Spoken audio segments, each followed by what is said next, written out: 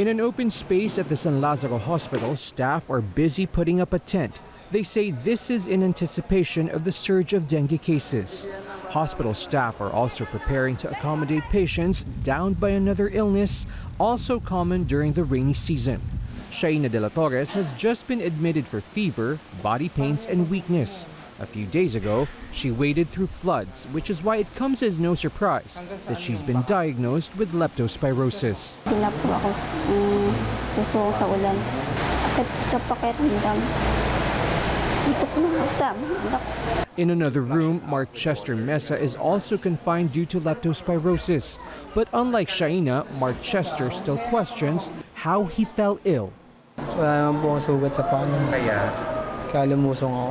The hospital spokesman, Dr. Ferdinand de Guzman, says wading through floods without any wound does not mean one will not contract the leptospira bacteria.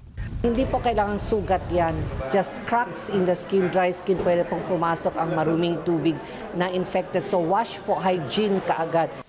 Dr. de Guzman says persons exposed to floods should take the antibiotic doxycycline with or without any wounds. But it's not recommended for children.